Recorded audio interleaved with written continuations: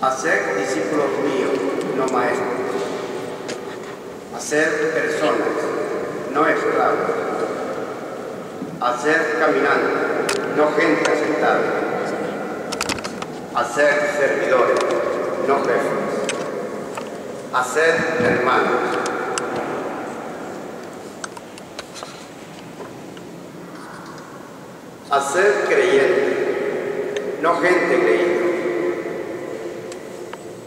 Haced buscadores de verdad, no amos de certezas. Haced creadores, no plaguistas. Haced ciudadanos, no extranjeros. Haced hermanos. Haced poetas, no pragmáticos de sueño y memoria, no de títulos, arcas y mapas. Hacer personas arriesgadas, no espectadores. Hacer hermanos.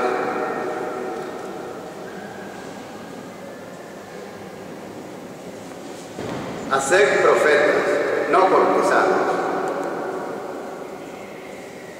a ser gente inquieta, no satisfecha, a ser personas libres, no leguleyas, a ser gente evangélica, no agorera, a ser hermanos. a ser sembradores, no coleccionistas. ser artistas, no soldados. A ser testigos, no inquisidores. A ser amigos de camino, no enemigos. A ser hermanos.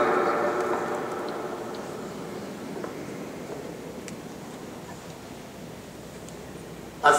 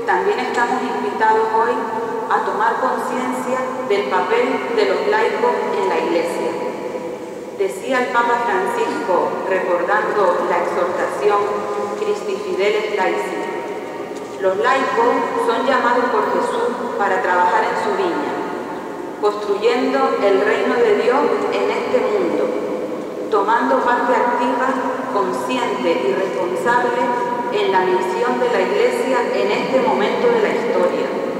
Estamos pues ante uno de los grandes retos que tiene la Iglesia en este momento. Pidamos también al Espíritu su fuerza para afrontar los retos del mundo de hoy.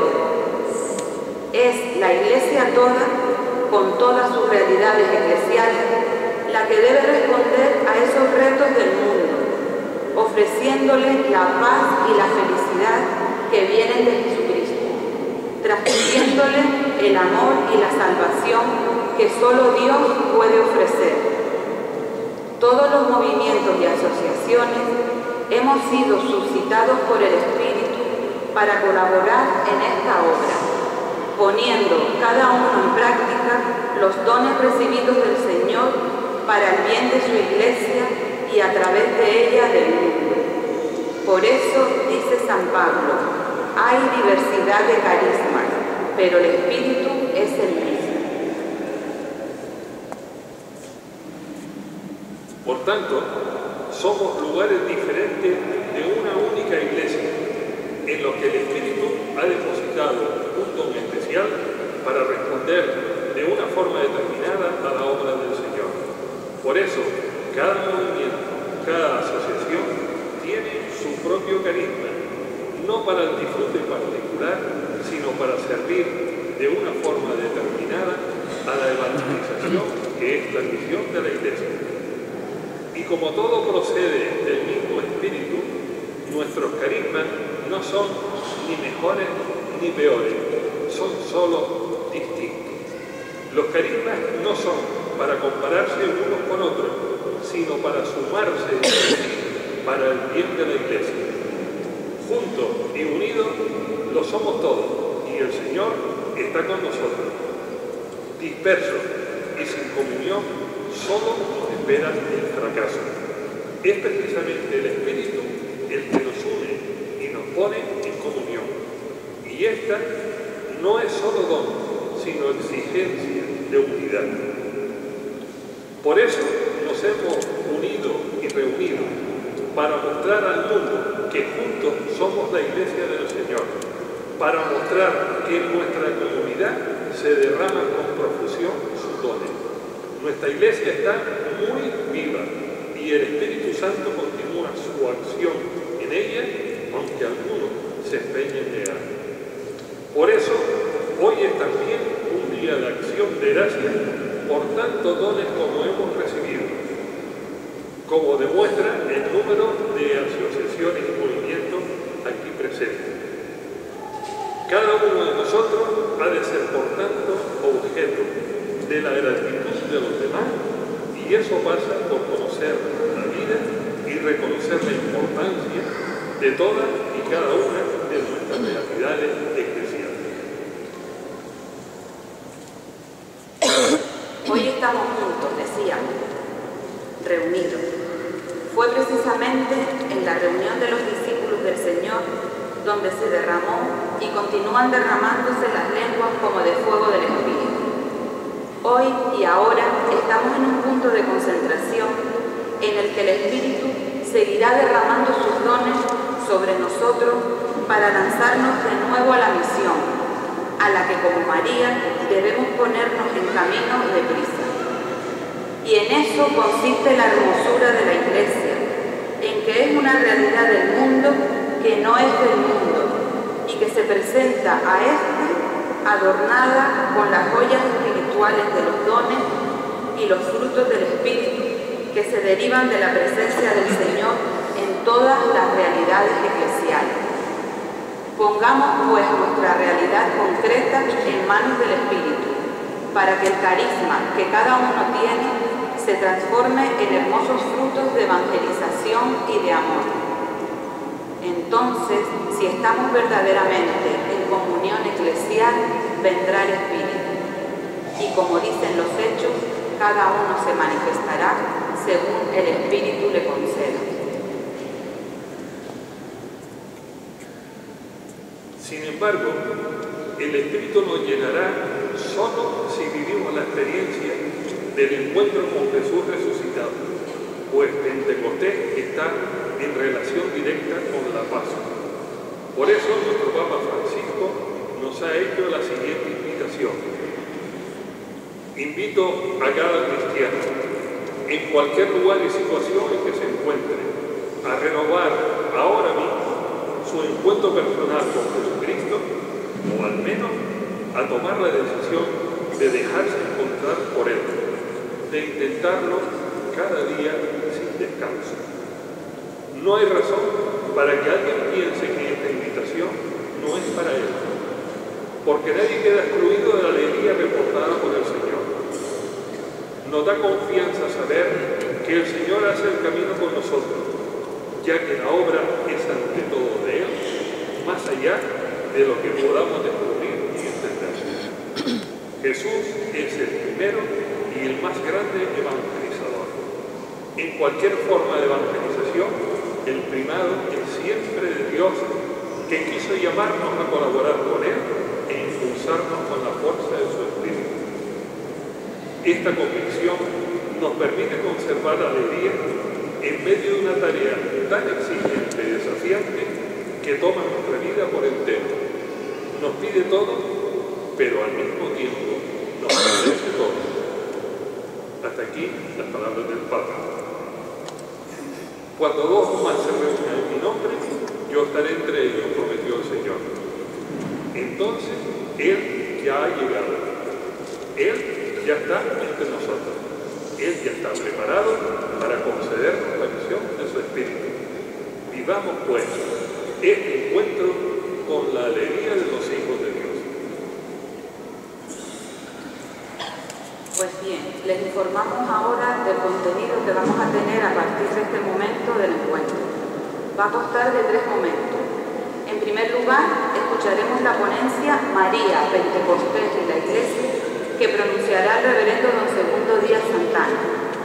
Una vez terminada, se proyectará un PowerPoint que presentará a los distintos movimientos y asociaciones, cada uno en tres diapositivas. ¿Quiénes somos? ¿Cuál es nuestro carisma? y cómo contactar? Una vez finalizada la proyección, tendremos un descanso, tras el cual tendrá lugar la adoración eucarística comunitaria. Tras un nuevo descanso, comenzará la vigilia a las 8 de la tarde. Pues bien, de momento nada más. Cedemos la palabra a don Policarpo Delgado Perdomo, delegado de Apostolado Seglar, que presentará al ponente de nuestra reflexión de hoy, don Segundo Díaz Santa.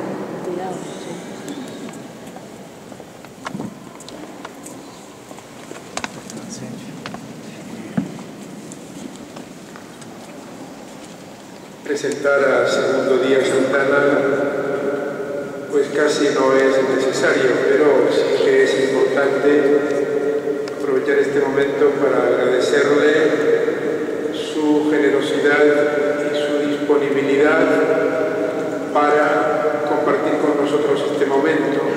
Como sabemos todos, él es, entre otras cosas, profesor de teología, de eclesiología, del Instituto Superior nuestro en Canarias, es delegado episcopal para la vida consagrada, es también capellán de los sordos aquí presentes esta tarde y tantísimas cosas, pero es alguien muy importante en nuestra iglesia que esta tarde tenemos, como digo, esta ocasión preciosa, este día tan excepcional de poder juntos prepararnos con su reflexión acogida del Espíritu. Muchas gracias, Segundo.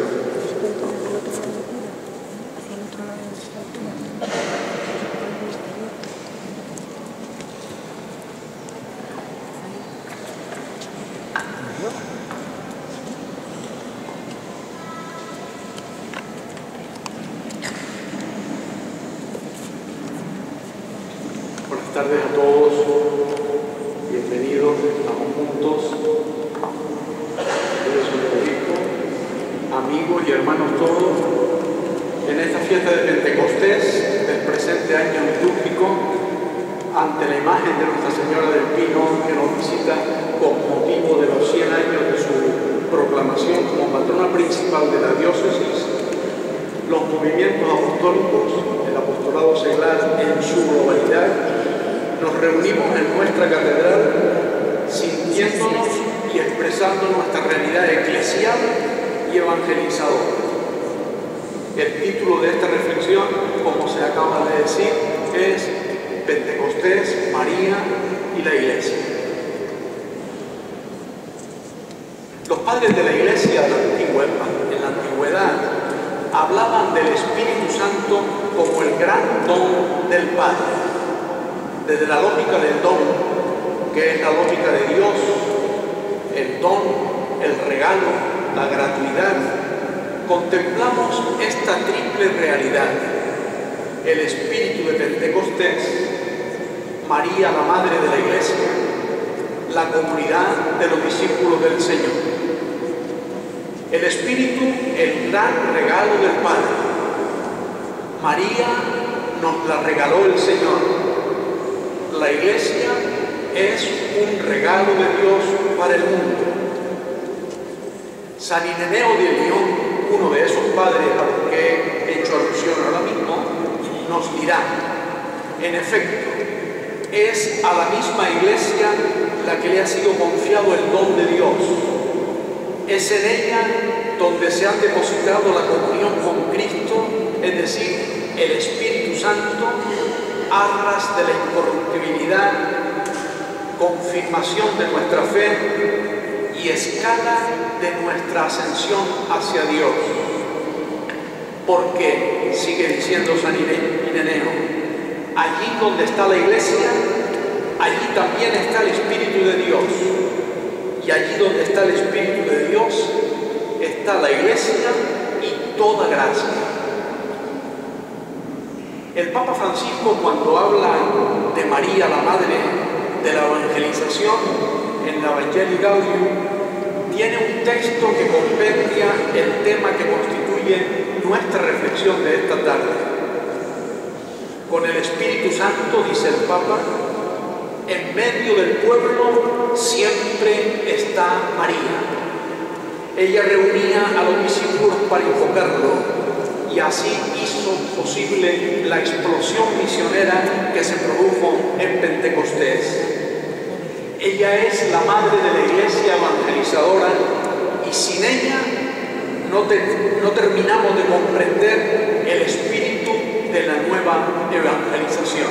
Como ven amigos y hermanos, estas tres realidades están perfectamente entrelazadas, unidas, vinculadas, para entendernos, para entender a la iglesia, para entender lo que somos y lo que estamos llamados a hacer. La entrega del Espíritu Santo es la gran promesa de Yahvé hizo a su pueblo y de la que queda constancia en el siguiente texto del profeta Ezequiel primer testamento. Dice así Ezequiel en el capítulo 36. Los recogeré de entre las naciones, los reuniré de todos los países y los llevaré a su tierra. Derramaré sobre ustedes un agua pura que les purificará. De todas sus injusticias e idolatrías les he de purificar. Les daré un corazón nuevo y les infundiré un espíritu nuevo. Arrancaré de su carne el corazón de piedra y les daré un corazón de carne. Les infundiré mi espíritu y haré que caminen según mis preceptos y que guarden y cumplan mis mandatos y habitarán en la tierra que di a sus padres. Ustedes serán mi pueblo y yo seré su Dios. Esta promesa mesiánica, hecha muchos siglos antes de que llegara Jesús, se realiza de manera plena en la encarnación del Hijo. María, cuya aparición en el Nuevo Testamento es muy precisa, aparece por primera vez en la Anunciación, donde el Espíritu Santo la cubre con su sombra y se realiza la encarnación del Verbo de Dios.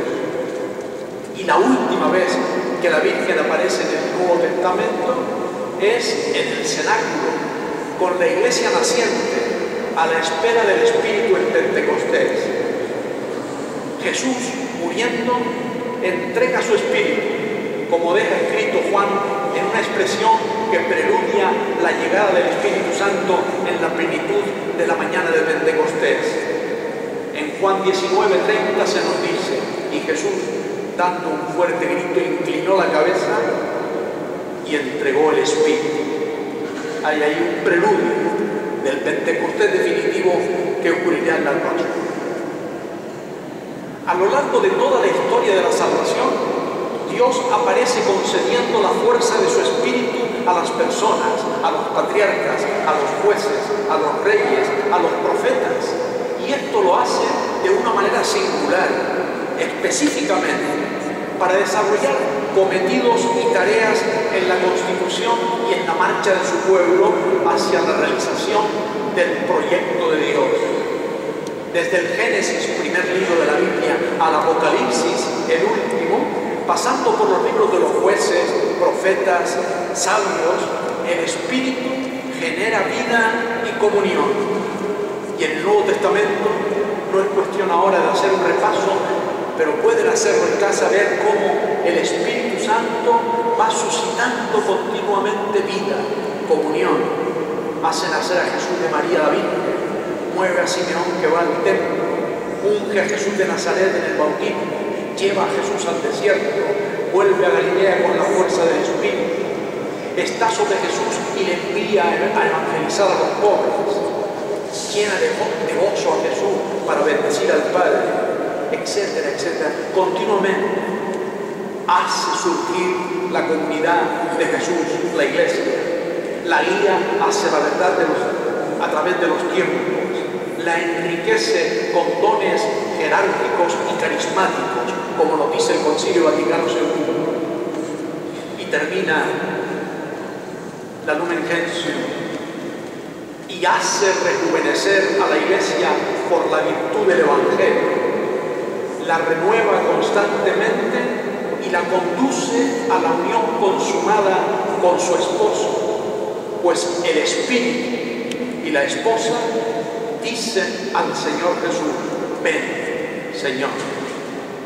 En los tiempos mesiánicos, en la plenitud de los tiempos, así nos dice la carta a los Gálatas, se realiza la promesa de Dios que ya anunció el profeta Joel, por la que el Espíritu es concedido no a alguna persona que le hace falta para una misión, para una cosa especial, sino que es concedido a todos, al pueblo en su totalidad, a toda la iglesia.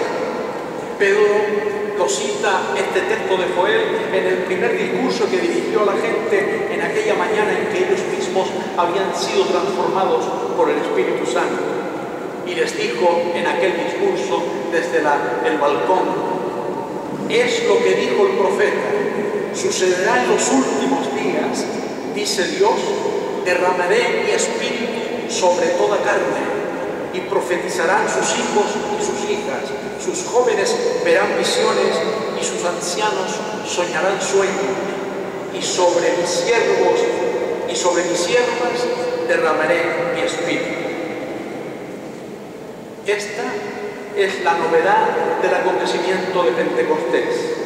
El Espíritu se le da a todos, bien sobre todos. Todo el pueblo tiene la unión, la unción del Espíritu Santo. La comunidad de Jesús, la comunidad de los que siguen a Jesús, es una comunidad espiritual, neumatológica, construida por la acción del Espíritu del Señor que sopla donde quiere, que sopla cuando quiere. De ahí viene el sentido de la fe que todos tenemos, el instinto de la fe, como lo llama el Papa Francisco en el número 119 de su exhortación apostólica, cuando dice, como parte de su ministerio de amor hacia la humanidad, Dios dota a la totalidad de los fieles, a todos los fieles, de un instinto de la fe que les ayuda a discernir lo que viene realmente de Dios. A nuestros obispos españoles, cuando le visitaron en el mes de marzo pasado, el obispo, en la, el Papa en la visita Divina, les dijo esta frase. Es importante que el obispo sea consciente de que también la grey que les ha sido encomendada tiene olfato para las cosas de Dios. Ya lo había dicho en la Evangelii Gaudi, cuando en el número 31, hablando de los obispos, dice esta frase, el rebaño mismo tiene su olfato para encontrar nuevos caminos en la evangelización. Por lo tanto, con esta realidad, nosotros sabemos que el Espíritu de Jesús que le habita, le mueve y le conduce en su vida a realizar la voluntad del Padre, es el mismo Espíritu que reciben los que somos de Jesús, los suyos, su iglesia. Cuando Jesús entró en la sinagoga de su pueblo de Nazaret, se aplicó a sí mismo el texto del profeta Isaías que dice, el Espíritu del Señor está sobre mí porque me ha ungido para anunciar a los pobres la buena nueva. Me ha enviado a proclamar la liberación a los cautivos y la vista a los ciegos, para dar la libertad a los oprimidos y proclamar año de gracia del Señor. Pues bien, esa misma misión la recibimos los que formamos la comunidad de Jesús, porque el Espíritu es el mismo en la cabeza que en sus miembros. De no ser así, será una desconexión, una división, por no decir una esquizofrenia entre el Espíritu en Jesús y el Espíritu en nosotros, que somos su cuerpo. Estamos ungidos para anunciar a los pobres la buena nueva. ¿Cómo resuenan estas palabras y este cometido en un mundo como el nuestro, en el que se multiplican los pobres en un sistema de vida que empobrece a los empobrecidos, que ahonda más y más la distancia, que sigue produciendo los sobrantes del sistema, los desechos, los excluidos, la obra de la proclamación de la liberación de todas las ataduras y de las esclavitudes que nos impiden ser verdaderamente libres, la curación de las cegueras y de las sorteras que nos impiden darnos cuenta de la dignidad a la que hemos sido llamados.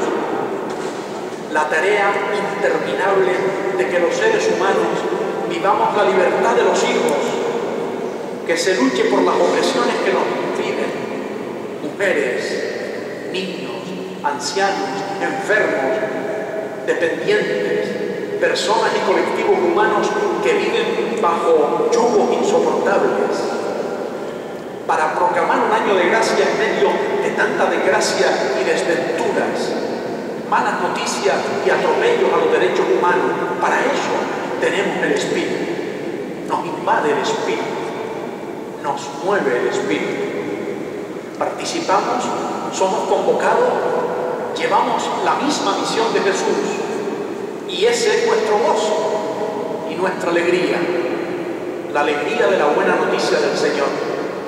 En el número 21 el Papa dice, la alegría del Evangelio que llena la vida de la comunidad de los discípulos es una alegría misionera. La experimentan los 72 discípulos que regresan de la misión llenos de gozo. La vive Jesús que se estremece de gozo en el Espíritu Santo y alaba al Padre porque su revelación alcanza a los pobres y a los pequeñitos. Pero además, como hemos escuchado hace un momento, el Espíritu Santo se derrama en la iglesia con una enorme variedad de dones y carismas que son dados para la utilidad del bien común, para la edificación de la iglesia. El pluralismo, la diversidad dentro de la comunidad cristiana, aquí mismo en esta tarde, cuántas personas de distintas espiritualidades, de distintos movimientos, con distintas presencias en la sociedad, con distintas vinculaciones dentro de la comunidad parroquial, en las profesiones, en la familia, en fin, en las tareas que cada uno, en la que cada uno puede desarrollar su vida. Pero es el mismo espíritu para llevar adelante la misión en las facetas y situaciones más variadas que podamos imaginar. Y ese pluralismo y esa diversidad no son patrimonio de nadie. Y hemos de alegrarnos de la diversidad y de la pluralidad de caminos por los que el Señor conduce a su pueblo. Él, que es el camino, la verdad y la vida. Sabiendo que más eclesial es cada carisma, en la medida en que dirija su mirada mejor al corazón del Evangelio pues es pidiendo la comunión, aunque duela, como un carisma se hace fecundo. Escuchemos lo que nos dice el Papa, porque son sus palabras las que en este momento nos confirman y nos ayudan a ahondar en esta reflexión de esta tarde. El Espíritu Santo también enriquece a la iglesia evangelizadora con carisma, dones, para renovar y edificar la iglesia un signo claro de la autenticidad de un carisma es su eclesialidad, su capacidad para integrarse verdaderamente, armónicamente en la vida del santo pueblo fiel de Dios, para el bien de todos. Una novedad verdadera suscitada por el Espíritu no necesita arrojar sombras sobre otra espiritualidad y dones para afirmarse a sí mismo. En la medida en que un carisma, sigue diciendo el Papa Francisco, dirija mejor su mirada al corazón del Evangelio, más eclesial es su ejercicio.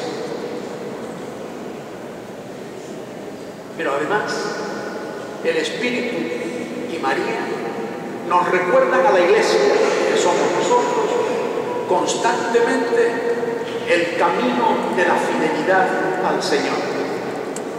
Del Espíritu Santo nos dijo Jesús en palabras que nos transmite el evangelista San Juan, pero el Paráclito, el Espíritu Santo, que el Padre enviará en mi nombre, os lo enseñará todo y os recordará todo lo que yo os he dicho.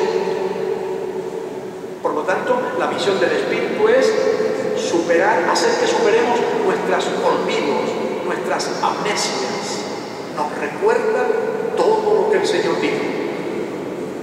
Y de María tenemos las últimas palabras que recoge también el cuarto evangelista en las bodas de Caná y que resultan paradigmáticamente para vivir como seguidores.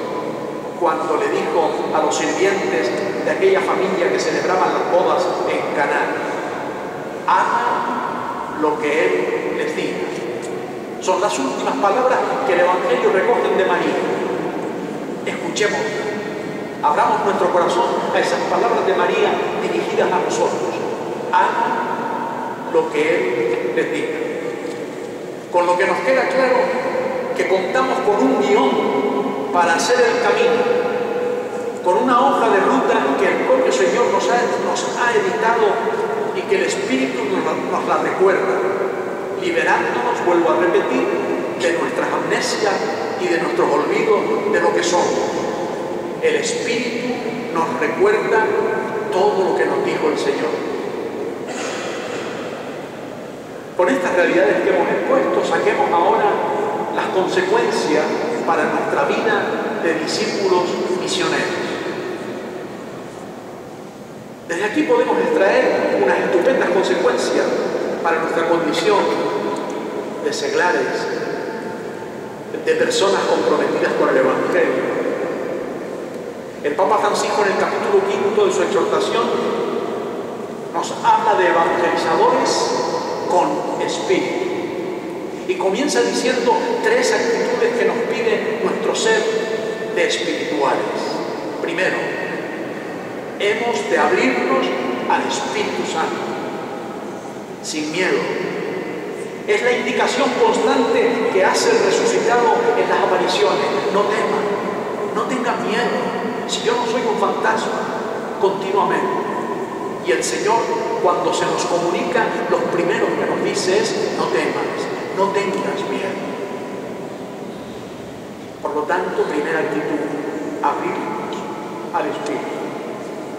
Segundo, dejarnos conducir por el Espíritu Santo, a donde el Espíritu nos lleve, a donde el Espíritu nos quiera llevar a una dimensión y a una hondura más que la que nos evocara ya la novela de Susana Tamaro, que todos ustedes conocen, donde el corazón te lleve.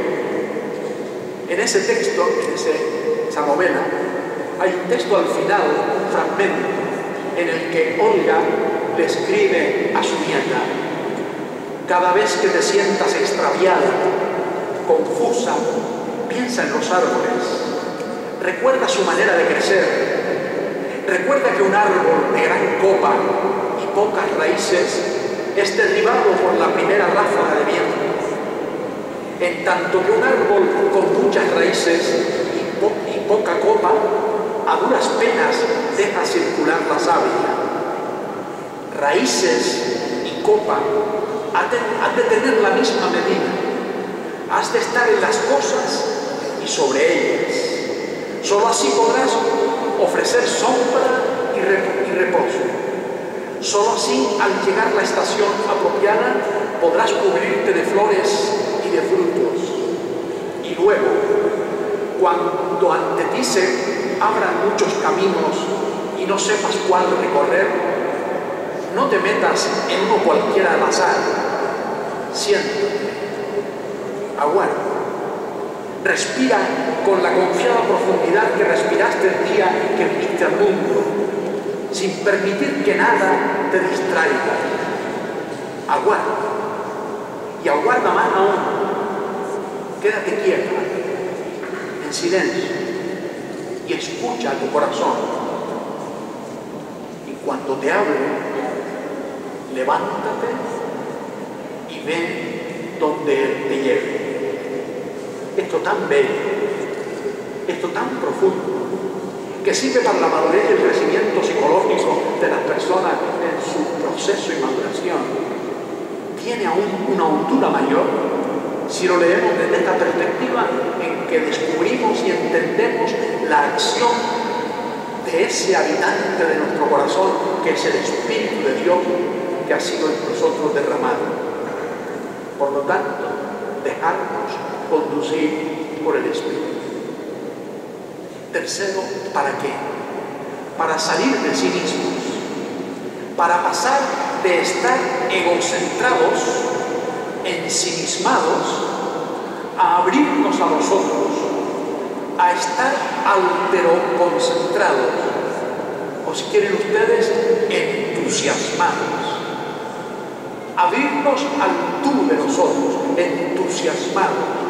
O en el sentido etimológico, la palabra entusiasmo significa vivir en Dios, endiosado. La palabra entusiasmo en griego tiene dentro Zeus, que significa Dios.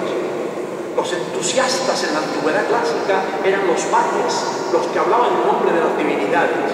Estar entusiasmado, además de ese sentido de estar abiertos al tú de los otros, es estar llenos de Dios para comunicar.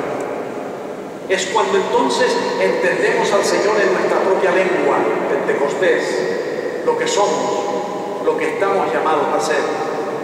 Como María, que acoge la llamada, se deja transformar y proclama su alma la grandeza del Señor. María recibe el anuncio del ángel y en vez de quedarse ensimismada en su casa de Nazaret, contemplando el anuncio que se le acaba de hacer, nada menos que vas a ser la madre del Mesías, María, en lugar de quedarse ensimismada, al instante nuestra Señora de la Prontitud se levanta y se encamina hacia la casa de su prima Isabel, que la necesita. Está y va haciendo el camino como a María, entusiasmada, porque lleva a Dios dentro. Nadie como María lleva a Dios dentro.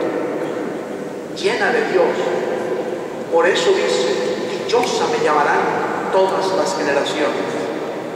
Estamos, como nos enseña nuestro obispo en la carta pastoral de Nuestra Señora de la Prontitud del 5 de marzo pasado, ante la realidad de la disponibilidad.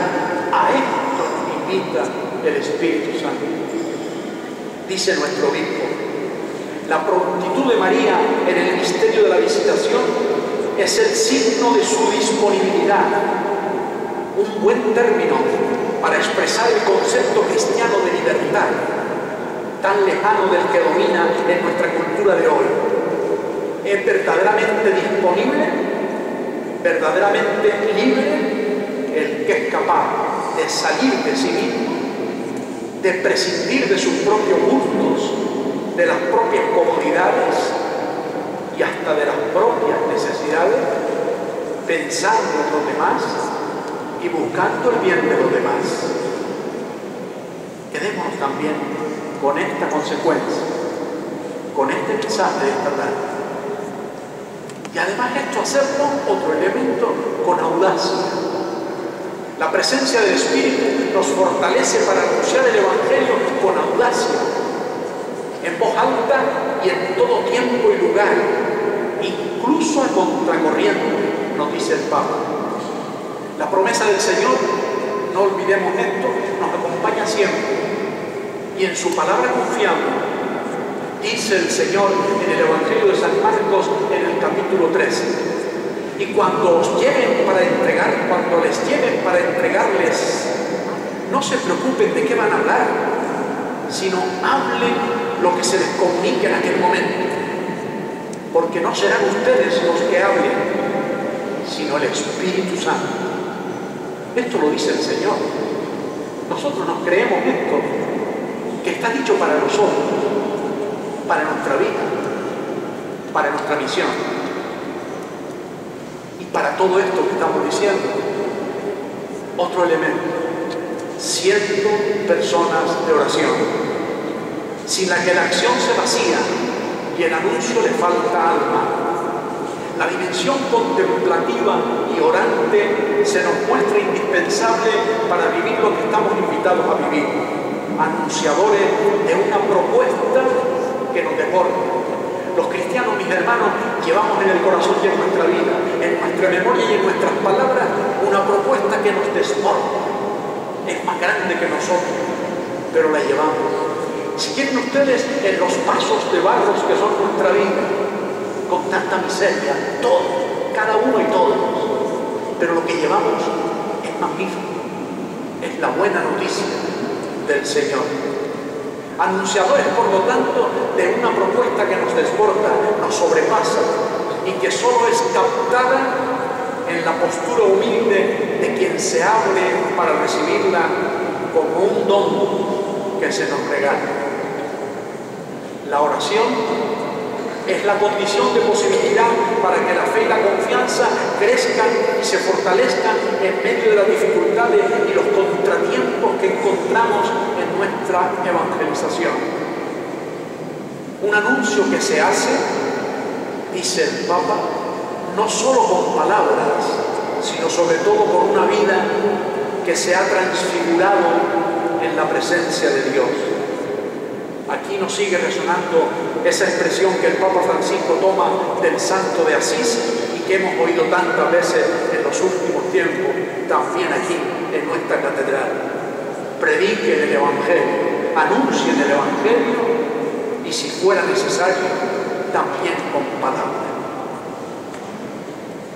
Pero hay otra consecuencia. Todo esto que estamos diciendo, que el Espíritu lo suscita en la iglesia, que la Madre lo abriga, lo recoge, lo cubre con su manto, tenemos que realizarlo en el aquí y el ahora de nuestro momento social, de nuestro momento político, de nuestro momento eclesial.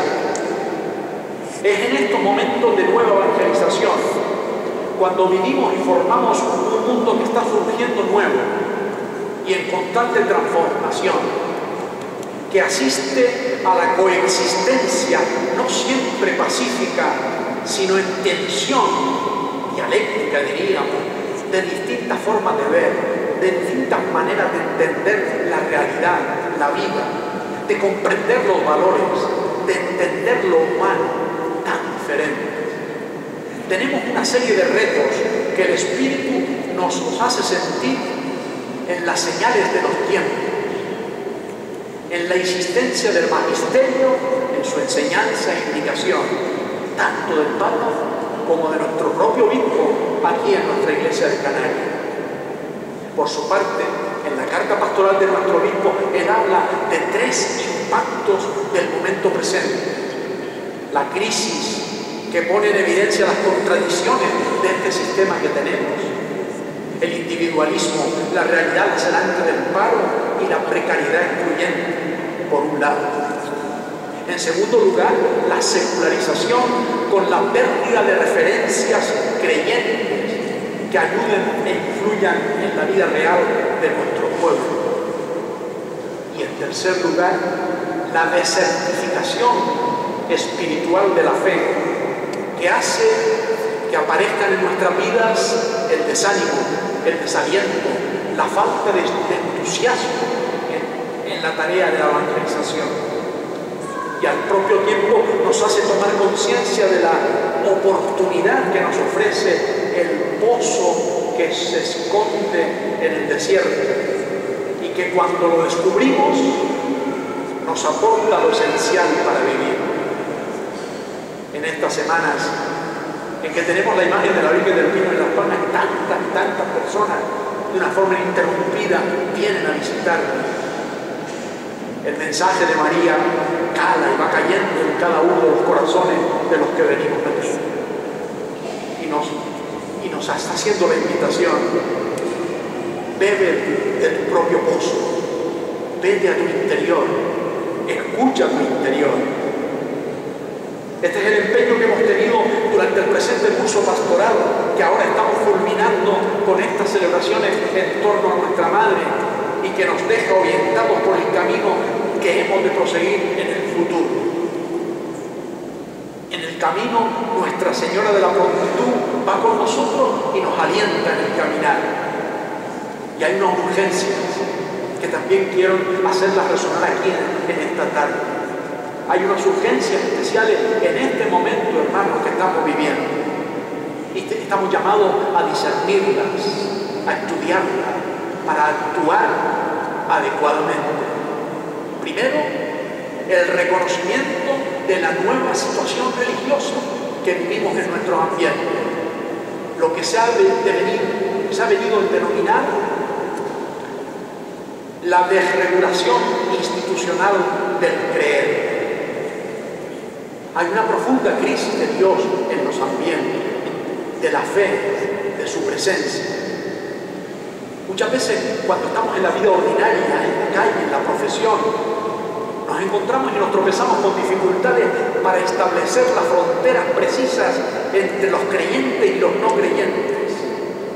Hay como un continuo en la articulación de la sociedad en cuanto a formas de vida, valores, maneras de afrontar el vivir, los compromisos sociales, los compromisos políticos. ¿Dónde están los creyentes? ¿Quiénes somos creyentes? ¿En qué nos diferenciamos de los que no son?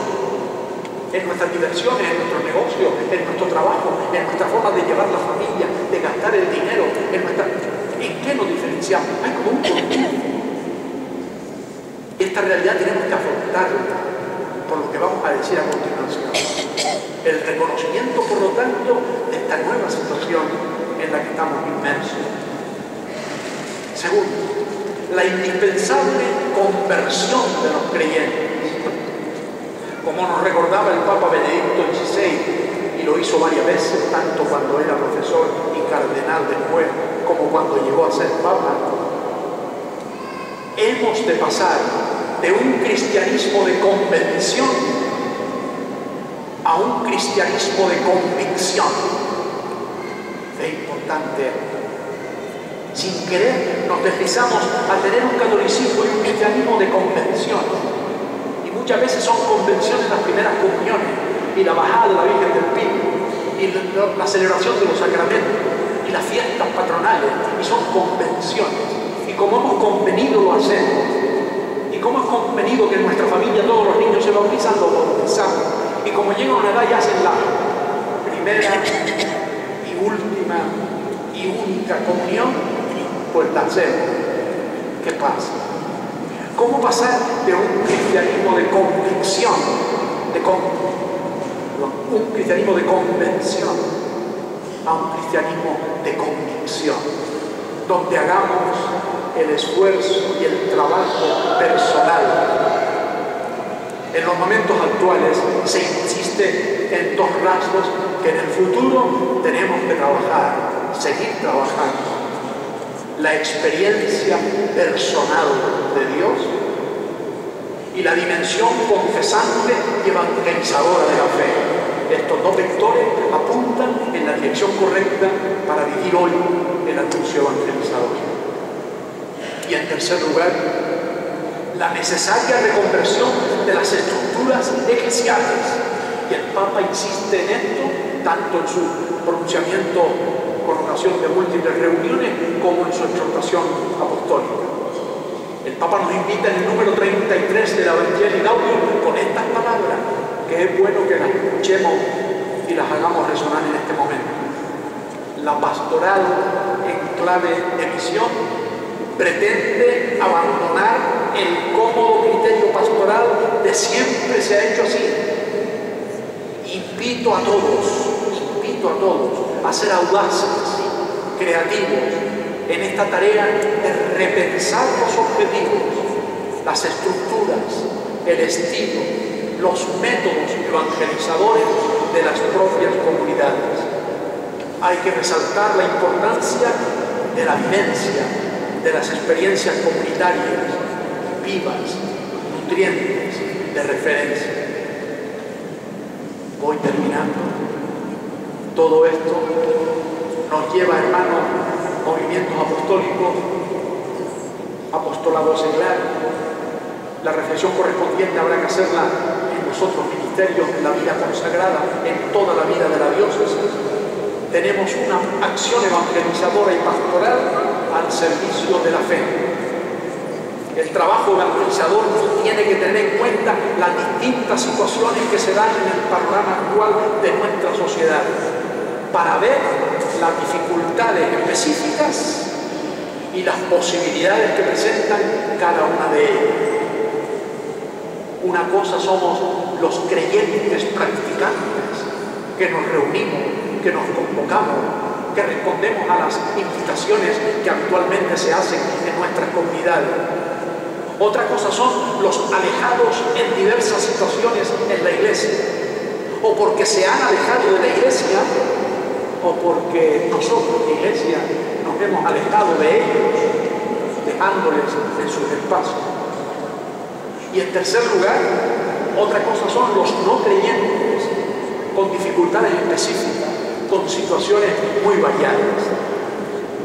Y en este orden de cosas, para poder responder a los distintos ámbitos, hemos de estar atentos a la necesidad de actualización y de puesta al día cultural de nuestro lenguaje, a la necesidad, laicos que me están escuchando, de movimientos apostólicos, todos estamos aquí reunidos, la necesidad de la permanente formación o de la formación permanente de los militantes, de los agentes de evangelización, para vivir en este momento que nos toca vivir.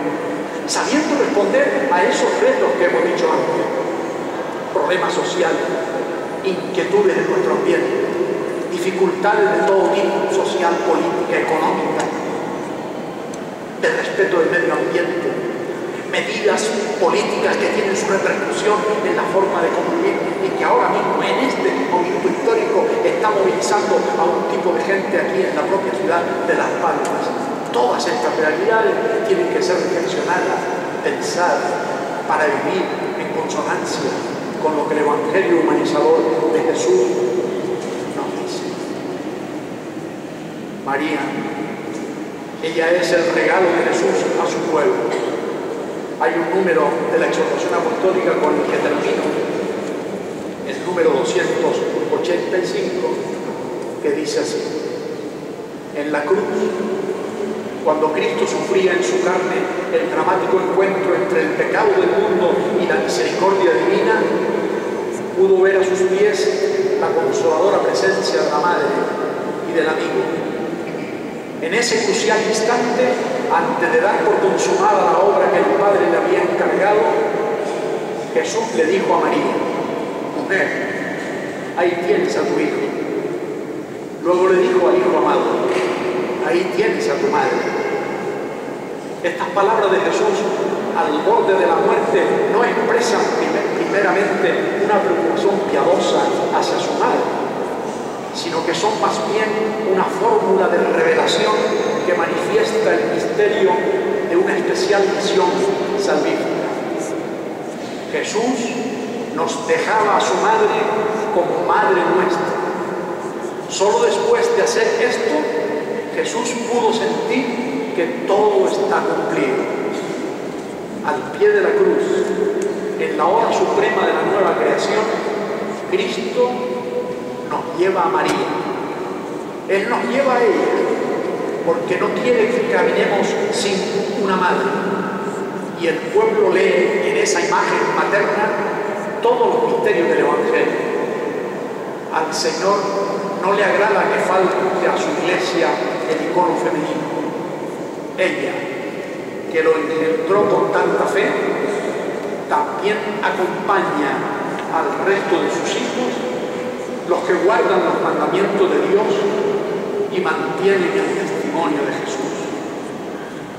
Por eso, agradecidos, yo les invito a que juntos nos dirijamos a ella con las palabras que el ángel la saludó. Dios te salve, María, llena eres de gracia, el Señor es contigo. Bendita tú eres de todas las mujeres, y bendito es el fruto de tu vientre. Santa María, ruega por nosotros pecadores, ahora y en la hora de nuestra muerte. María, Madre de la Evangelización, ruega por nosotros. Mientras recorre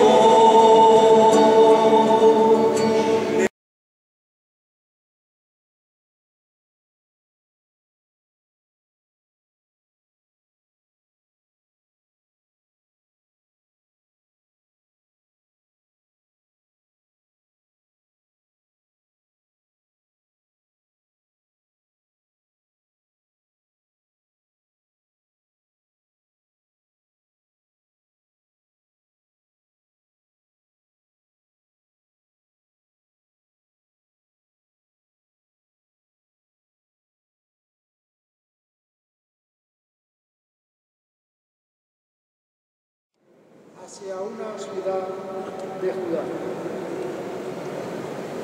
Según los estudiosos, esta ciudad debería ser la actual Ain Karim, situada entre las montañas, no distante de Jerusalén.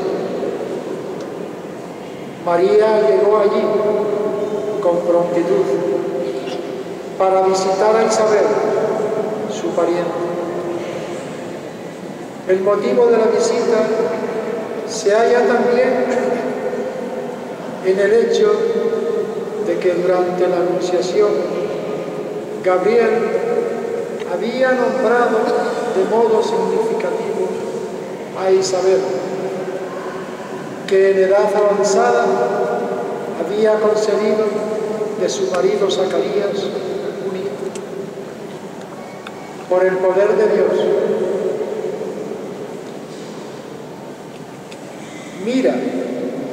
también Isabel, tu pariente, ha concebido un hijo en su vejez.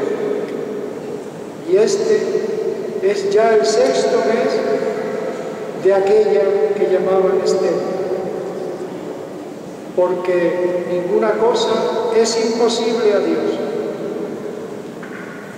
El mensajero divino se había referido a cuanto había acontecido Isabel para responder a la pregunta de María. ¿Cómo será esto? Pues no conozco Esto sucederá precisamente por el poder del Altísimo, como más aún en el caso de Isabel. Así pues, María, movida por la se dirige a la casa de su pariente. Cuando entra Isabel a responder a su saludo, sintiendo saltar de gozo el niño en su seno. Llena del Espíritu Santo, a su vez saluda a María en alta voz. Bendita tú entre las mujeres y bendito el fruto de tu seno. Esta exclamación o aclamación de Isabel entraría posteriormente en el Ave María como una continuación del saludo del ángel, convirtiéndose así en una de las plegarias más frecuentes de la Iglesia. Pero más significativas son todavía las palabras de Isabel en la pregunta que sigue. ¿De dónde a mí que la madre de mi Señor venga a mí? Isabel da testimonio de María, reconoce y proclama que ante ella está la Madre del Señor, la Madre del Mesías. De este testimonio participa también el hijo que Isabel lleva en su seno. Saltó de gozo el niño en su seno. El niño es el futuro Juan el Bautista, que en el Jordán señalará en Jesús al Mesías.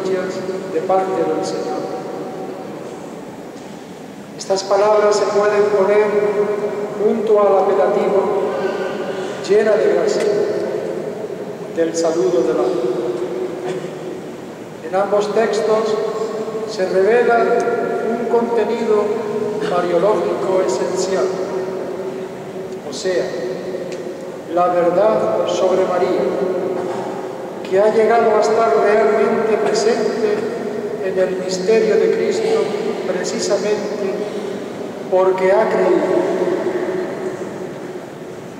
La plenitud de gracia anunciada por el ángel significa el don de Dios mismo.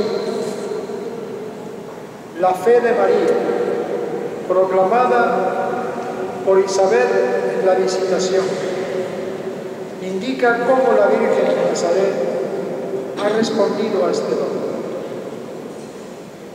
A María se le da el nombre de esposa del Espíritu Santo.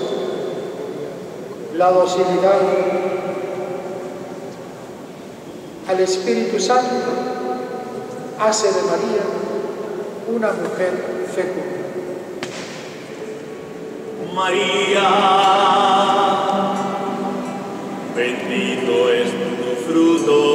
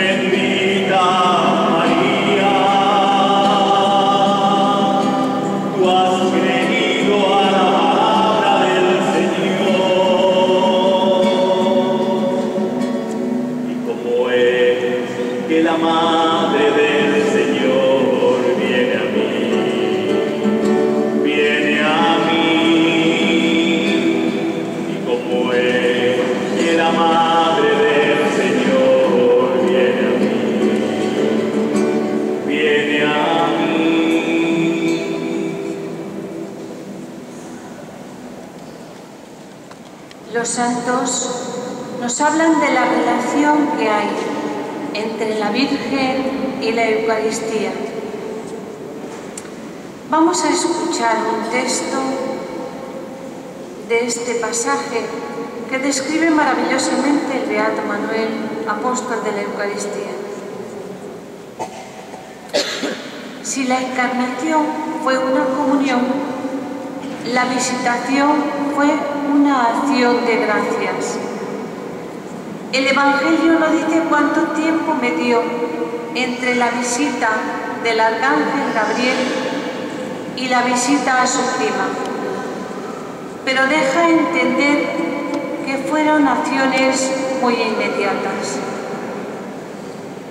Terminada de contar aquella escena, la más sublime de todas las de la historia, y resonando aún en los oídos el venturoso fía que da entrada al Verbo en su primer tabernáculo de la tierra, El evangelista sigue narrando con esta significativa palabra. Y levantándose María, pero después de elevada a Madre de Dios, ¿podría elevarse más? ¿O virtud infinita elevadora del amor al prójimo por Dios? Partió. No dice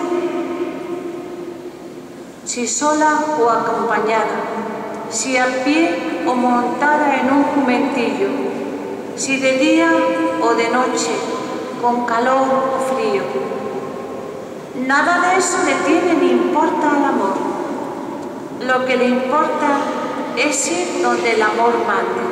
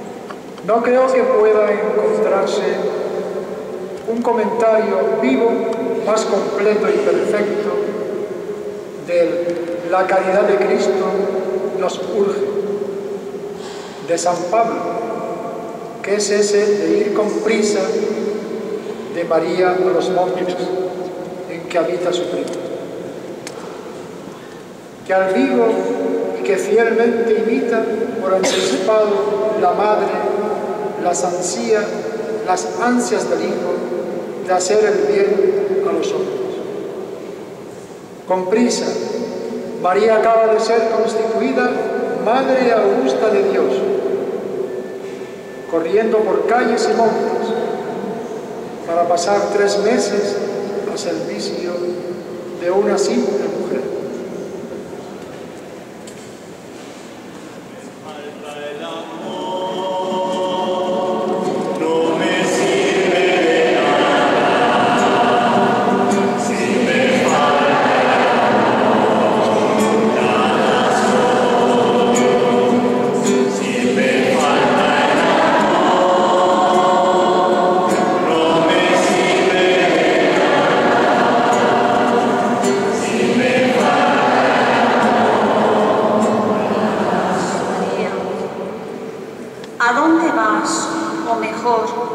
lo llevas?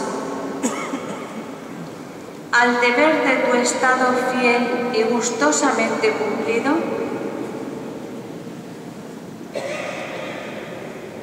a la busca del pobre, del ignorante, del niño, del triste, del abandonado, ¿Vas con prisa? Ah, si invitaras a tu madre después de comulgar, lo que harías a tu paso por el mundo. Lo que se alegrarían de tus comuniones. Jesús, llevado por María a la casa de Isabel, transporta de gozo a la madre, santifica y hace dar saltos de júbilo al Hijo que no ha nacido, y perfuma de paz, de dicha, de alabanza y gloria de Dios a cuantos allí viven y por allí pasan. Te pregunto otra vez, ¿A dónde llevas al Jesús de tus comuniones? ¿Qué haces con él?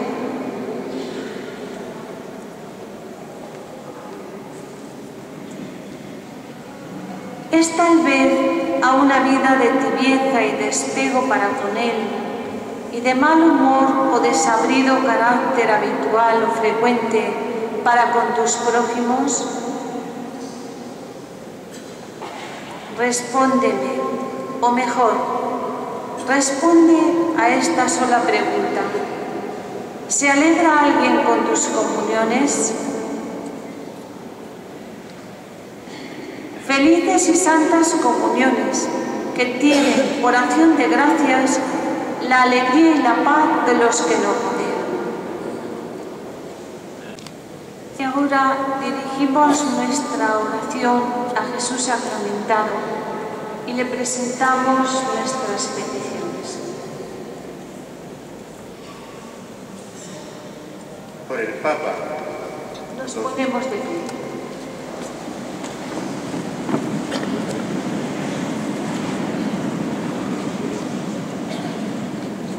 Por el Papa, los obispos y los sacerdotes, para que María Madre mantenga su ilusión por formar comunidades servidoras de sus hermanos y en las que se fomente el amor a la Virgen y la adoración eucarística, oremos.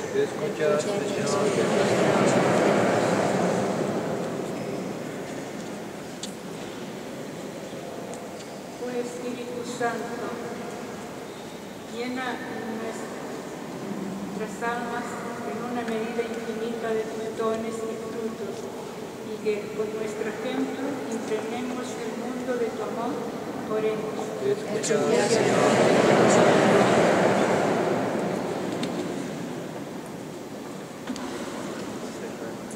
Te pedimos, Señor, por los movimientos apostólicos, para que por intercesión de nuestra Madre María seamos fieles al servicio que hemos sido llamados, para que el Espíritu Santo nos conceda ser testigos comprometidos y a imitación de María nos ayude a mantener con fortaleza, sabiduría y amor el hágase, aún en medio de las dificultades.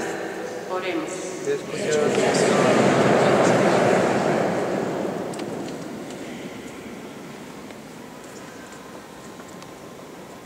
Madre del Pino, que nuestra alma sea sagrario en el que se quede el Jesús de nuestra comunión y que el bienestar que a nuestro alrededor siempre nuestra abnegación silenciosa y constante sea la lámpara que lo acompañe y lo dé a sentir.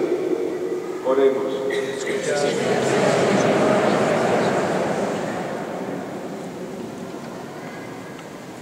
Demos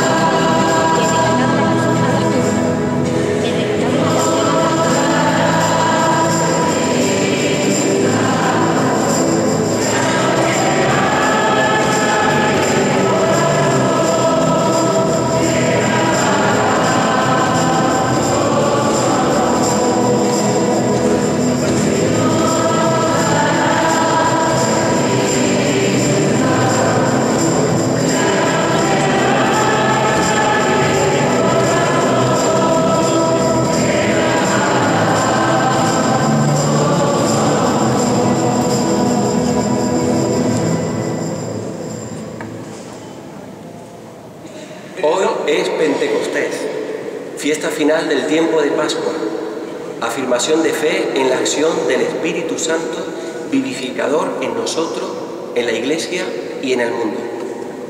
Y en este día celebramos la jornada de la acción católica y del apostolado seglar, en el contexto de los 25 años de la exhortación apostólica del Santo Papa Juan Pablo II, Christi Fidelis Laici, sobre la vocación y misión de los laicos. El Espíritu sacudió como un vendaval a los primeros discípulos y les impulsó a ser anunciadores de la buena noticia de Jesús. También en nuestros días, como nos recuerda el Papa Francisco en su exhortación Evangelii Gaudium, este mismo Espíritu nos capacita a todos los creyentes para ser, en medio del mundo, testigos de la alegría del Evangelio. Participemos gozosos en la Eucaristía que ahora comienza. En el nombre del Padre, y del Hijo, y del Espíritu Santo. Amén. La paz esté con ustedes. Con la fiesta de Pentecostés, que celebraremos, que ya empezamos a celebrar esta tarde, se cierra el tiempo de Pascua, ese tiempo en el que nos hemos ido entrenando a vivir como resucitados. Vivir como resucitados unidos a Cristo no es otra cosa que recuperar en toda su claridad nuestra condición de bautizados. Por eso, en esta celebración, para reconocer nuestra debilidad y el poder de la misericordia de Dios, hacemos memoria del bautismo. Pedimos a Dios su bendición sobre el agua que va a ser derramada sobre nosotros en memoria de nuestro bautismo. Pedimos al Señor que nos haga bautizados coherentes y fuertes.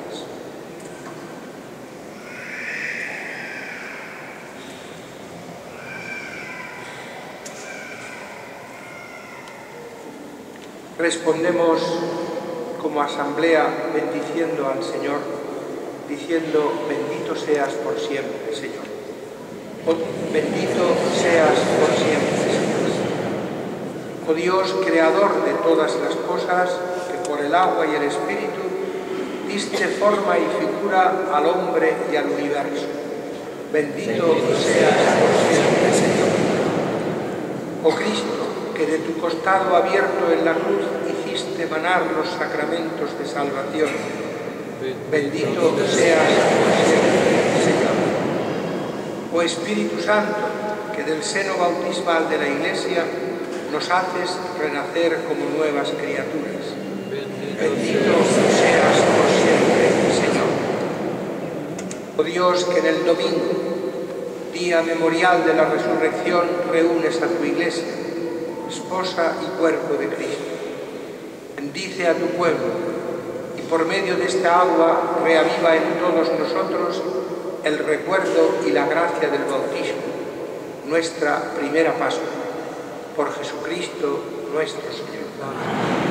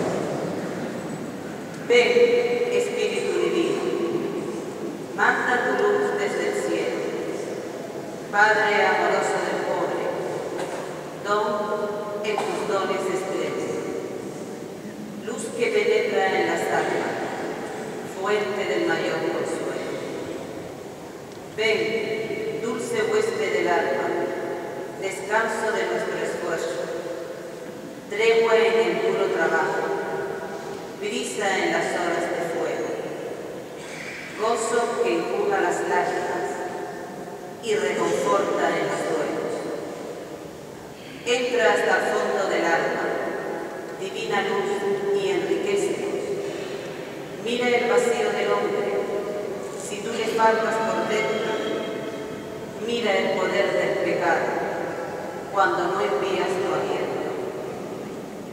Riega la tierra en sequía, sana el corazón enfermo, lava las manchas, infunde calor de vida en el hielo, toma el espíritu indómito, guía al que tuerce el sendero, reparte tus siete dones, según la fe de tus por tu bondad y tu gracia. Dale el esfuerzo su mérito. Salva al que busca salvarse y danos tu gozo eterno. Amén.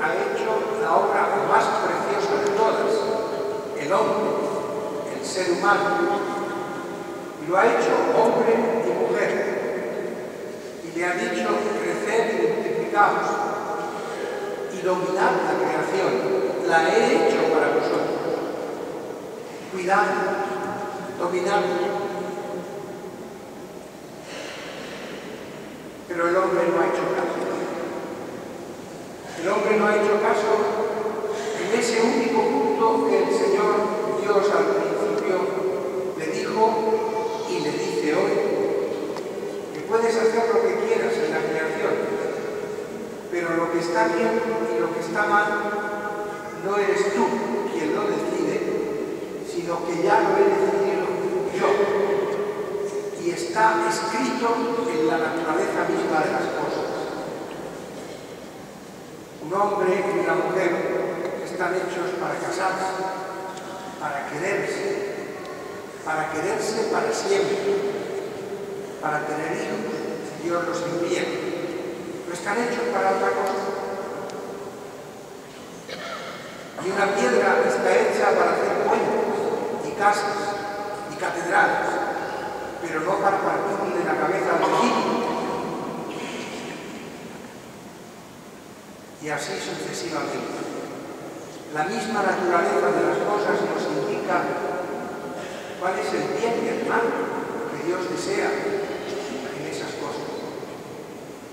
Y por eso, en esa preciosa catequesis de los once primeros capítulos, se nos explica que cuando el hombre no ha hecho caso de Dios, cuando el hombre no hace caso de Dios, ese juguete que Dios ha puesto en sus manos se destrozan, se parten pedazos y ya nada funciona como tendría que funcionar.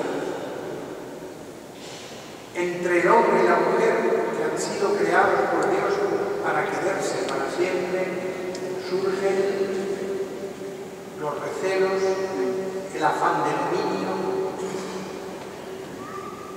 la acusación. Adán, ¿qué has hecho? Yo no he sido, ha sido este. Cuando dos personas se quieren, no se acusan, aunque tengan de qué acusarse. Si se acusan es porque no se quieren. Entre los hermanos surge el odio. La primera muerte que aparece en la Biblia no es la muerte de alguien que naturalmente haya llegado a una edad en la que lo normal es morirse. No, la primera muerte que se nos cuenta en la Biblia es un asesinato. Caín mata a su hermano Abel. Y Dios anuncia que el trabajo con la tierra será un trabajo penoso, que el trabajo de que Dios le había encargado de cuidar la tierra dará espinas y abrojos y para trabajar tendrá que cansarse y fatigarse. Y así todo se va descomponiendo y para explicarnos que también las relaciones entre los hombres se han descompuesto y se han fragmentado, nos cuenta la historia de Babel. Es una preciosa catequesis de cómo los hombres que tenemos la lengua para comunicarnos, conseguimos que la lengua sea el motivo de la dispersión. Es verdad que toda esta catequesis está explicada con un lenguaje que para nosotros hoy no, no es fácil de entender, requiere sus explicaciones. Ejemplo, dice que Dios es el que cierra el paraíso. No somos los hombres los que nos hemos cerrado el paraíso. Dice que Dios es el que baja a dispersar a los hombres por la lengua. Somos los hombres los que hemos hecho que hasta los medios de comunicación que hemos inventado sirvan para distanciarnos. Un periódico es un medio de comunicación, ¿verdad que sí? También puede servir para incomunicarnos. Nos sentamos en el sofá de casa, abrimos el periódico y cuando viene la esposa a decirnos, Pepe, que digo que he dicho, no me molestes que estoy leyendo el periódico. Y ponemos el periódico como una pantalla que nos incomunica a los demás. La televisión es un medio de comunicación, ¿verdad? ¡Ay, qué instrumento tan precioso tenemos en las casas para que cada uno haga su vida! Y en las casas terminamos teniendo tantas televisiones como cabezas. Cada uno en una habitación viendo su TV, su programa, porque ya ha sido imposible ponernos de acuerdo con el sintonizador de emisores. Los medios de comunicación son medios de incomunicación. Hoy sería esta manera de hablar, pero ahora sería una forma igual que la Torre de Babel. No nos entendemos. No nos entendemos. Y hay una frase con la que termina esa catequesis. Dice, y los hombres cesaron de edificar la ciudad. Este es el fin de esa catequesis. El fin de esa catequesis es de explicarnos que la ciudad que construimos los hombres no está terminada. La ciudad que construimos los hombres y que estábamos puestos en el mundo para construir una ciudad en la que viviera la gran familia humana, no funciona. No funciona. La convivencia humana no funciona. Hombres dejaron de construir la ciudad. Cesaron de hacer aquello que el Señor les había encargado. Y a lo largo de toda la Biblia encontraremos grandes ciudades que serán siempre un gran, una gran señal de destrucción y de desorden. Babilonia, Asiria y hasta Jerusalén, la ciudad que mata a sus hijos. Jerusalén, Jerusalén, que matas a los profetas. Jerusalén, Jerusalén, cuántas veces he querido reunir a tus hijos como una gallina recoge a sus polluelos y tú no has creído. Son los lamentos de Jesús sobre la ciudad santa de Jerusalén. Ni siquiera la ciudad santa de Jerusalén ha sabido ser, ha sabido responder al proyecto que Dios quería para la ciudad. Los hombres cesaron de construir la ciudad. Y lo vemos hoy en nuestra ciudad, lo vemos hoy en nuestra convivencia. La convivencia de nuestras ciudades y nuestros pueblos, la convivencia de la familia humana chirría, hace ruido. Es una máquina que no funciona bien. Y hay paro. Y hay separaciones y divorcios. Y hay odios y guerras. Y hay todo lo que destroza la convivencia humana. Los hombres cesaron de construir la ciudad y no conseguimos construir la ciudad. Por eso San Pablo en la carta a los romanos que hemos escuchado dice, la creación entera está gimiendo con dolores de parto. Está queriendo que nazca un ser nuevo. Está dolores de parto, pero está gimiendo. No consigue dar a luz ese hombre nuevo que construye la nueva ciudad. No lo conseguimos. ¿Qué nos falta? ¿Por qué los hombres no conseguimos entendernos? ¿Por qué hasta en el matrimonio, en donde son un hombre y una mujer que se eligen ellos por amor, en principio? ¿Por qué hasta en el matrimonio hay tantos problemas?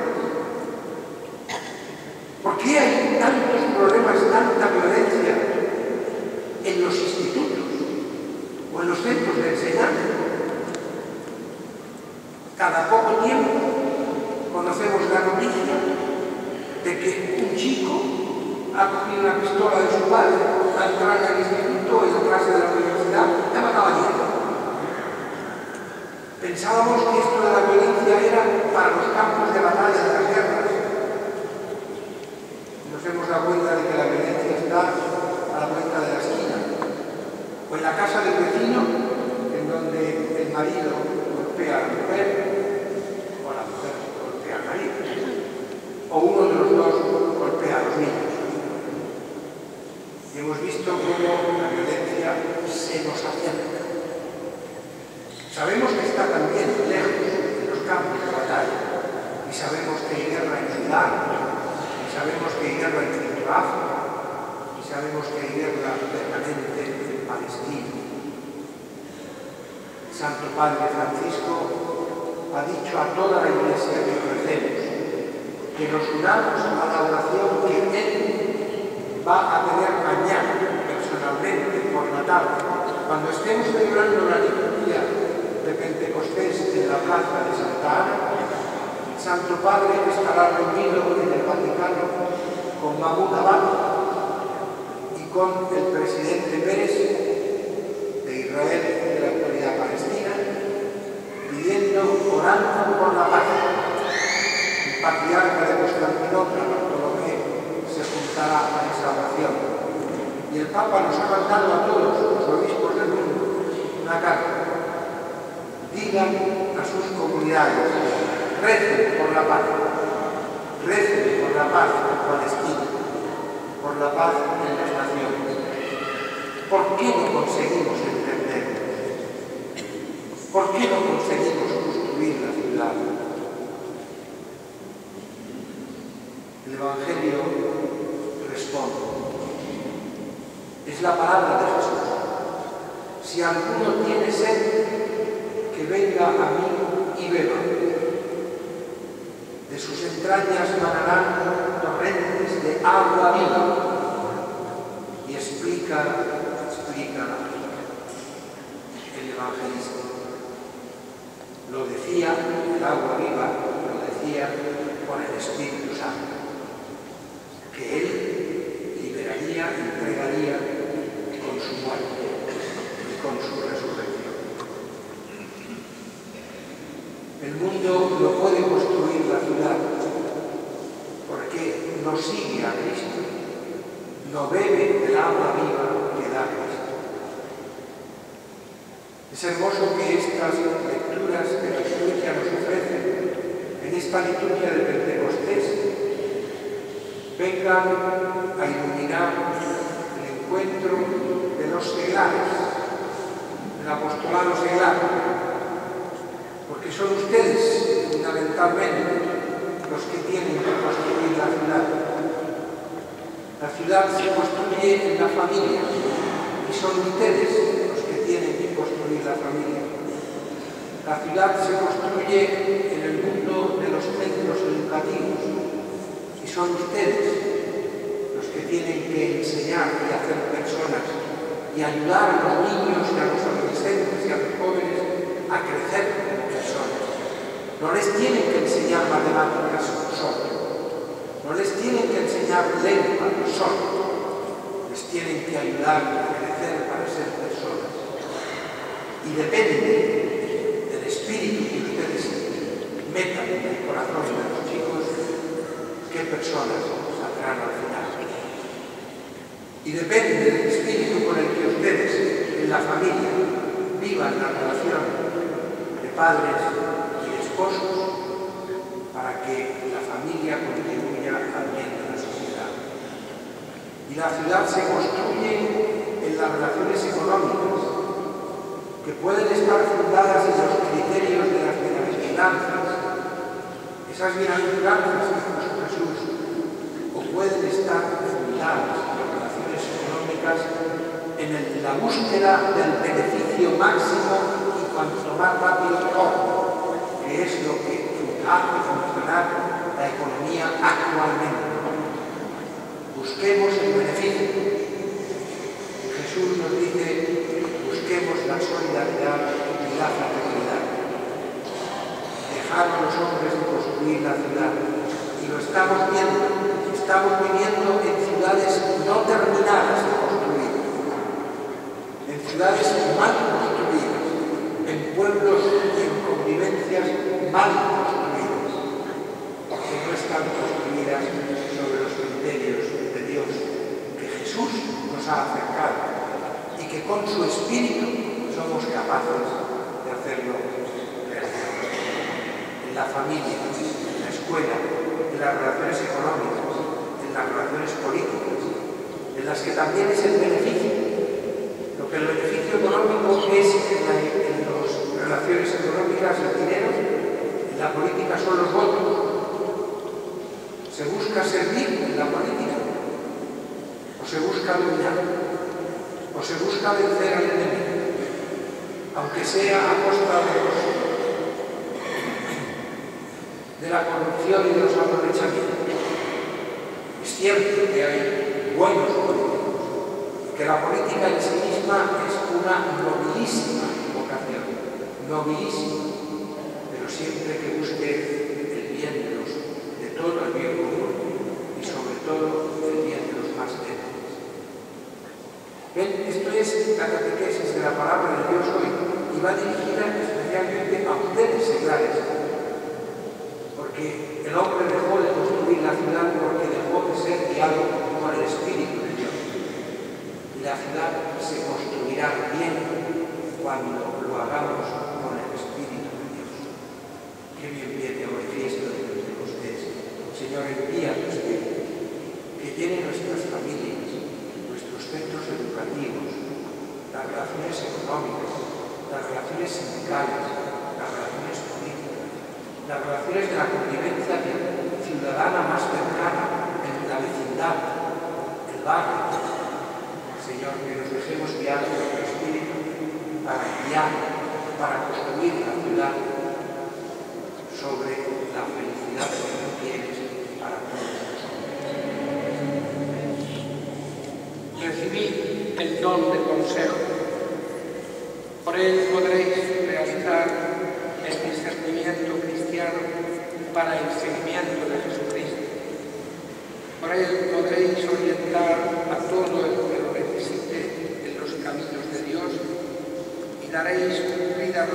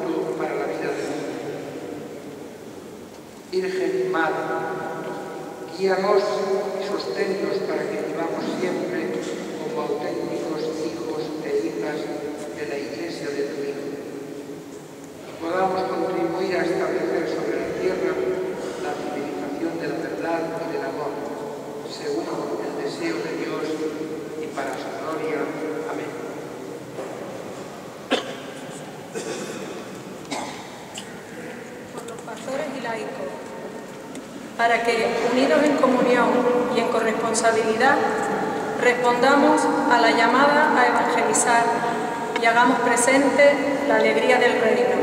Oremos.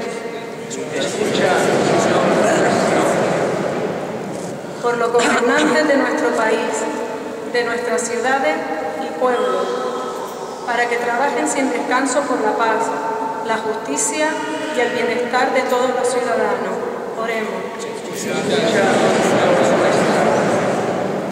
Por la acción católica y por los demás movimientos y asociaciones de apostolado seglar, para que promoviendo la responsabilidad de sus miembros en la tarea evangelizadora, formen cristianos capaces de dar respuesta desde la fe a los problemas que viven las personas de nuestro tiempo. Oremos.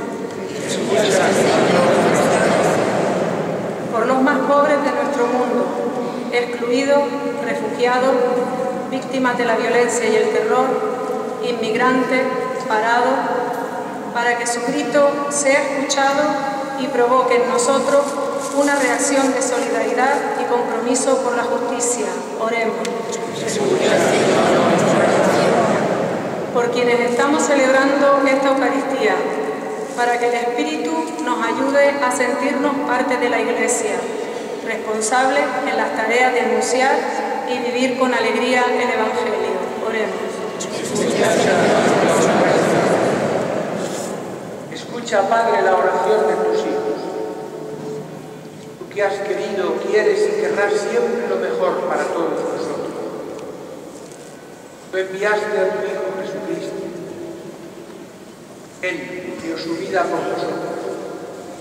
Resucitado, envía sobre nosotros tu Espíritu que podamos construir entre todos la gran familia humana, la gran ciudad de convivencia de los hombres. Ayúdanos, escúchanos y enséñanos a escuchar. Por Jesucristo, tu Hijo, nuestro Señor.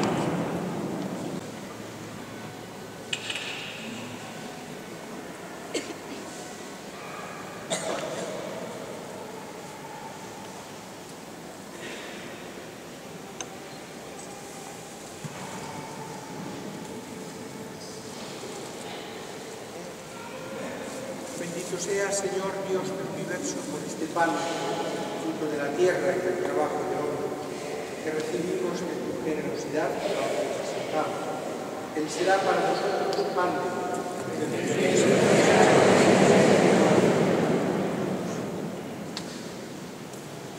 Bendito sea, Señor Dios del universo, por este vino, fruto de la vida y del trabajo del hombre, que recibimos de tu generosidad y ahora. Él será para nosotros venida de. El mundo entero se desborda de alegría. Y también los coros celestiales, los ángeles y los arcángeles cantan sin cesar el himno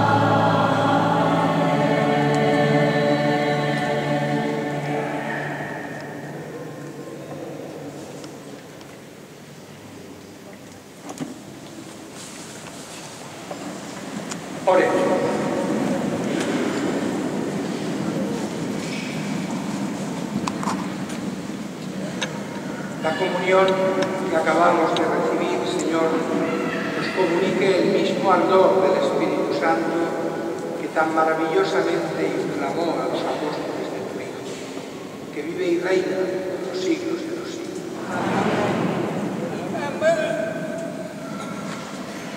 El Espíritu, el Espíritu lo es todo en la Iglesia.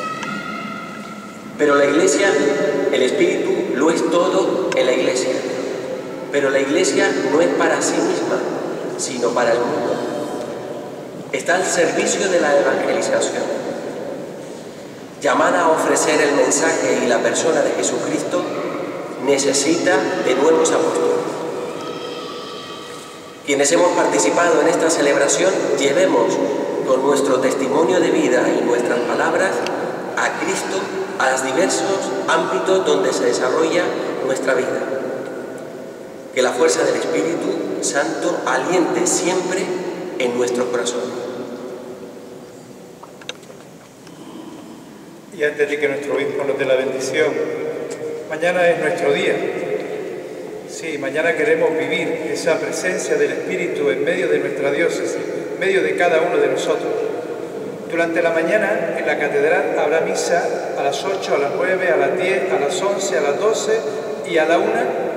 Y a las 5 de la tarde tendremos la Eucaristía de toda la diócesis en la fachada de la catedral. A las 4 y 20 la, la Virgen saldrá hasta la fachada de la catedral. A las 4 y media rezaremos juntos el rosario, ese rato de meditar los misterios del rosario y preparar nuestro corazón para celebrar la Eucaristía a las 5 de la tarde. Pero durante la mañana y parte de la tarde también, la primera hora de la tarde, queremos hacer fiesta diocesana. Queremos vibrar como diócesis en torno a nuestra Madre, la Virgen del Pino, nuestro patrón. Por eso, a partir de las 10 de la mañana, en la plaza de Santa Ana, verán ustedes montados un montón de stand blancos. Dentro de cada uno de esos stands estará nuestra diócesis, estará catequesis, estará Cáritas, estará pastoral penitenciaria, estará cualquiera de las realidades pastorales de nuestra diócesis, ofreciéndonos, poniendo en nuestras manos lo que estamos haciendo y lo que hace cada una de las realidades. Es un privilegio el poder juntos descubrir la cantidad de cosas extraordinarias que hacemos en nuestra diócesis. Y eso lo vamos a celebrar y lo vamos a hacer fiesta a partir de las 2 de la tarde justamente en la fachada de la catedral, pues varios grupos que se han prestado a venir a hacer fiesta con nosotros nos animarán, nos alentarán, escucharemos testimonios de experiencias creyentes y disfrutaremos juntos, preparando nuestro corazón para celebrar con toda la diócesis. Esperamos muchísima gente por los que nos han ido confirmando, más como lo hemos vivido durante esta semana. Será a las 5 de la tarde en la fachada de la celebración de la Eucaristía. El Señor esté con vosotros. El Señor os bendiga y os guarde, ilumine su, su rostro sobre vosotros y os conceda su favor. El Señor os bendiga y os conceda su paz. La bendición de Dios Todopoderoso, Padre, Hijo y Espíritu Santo, descienda sobre vosotros. Construid la ciudad llevad el Espíritu del Señor y con ese Espíritu construid la familia, la escuela, las relaciones sindicales, las relaciones laborales, las relaciones económicas y políticas, las relaciones de convivencia en el barrio y en la escalera de la casa. Construid la ciudad. Podéis ir en paz.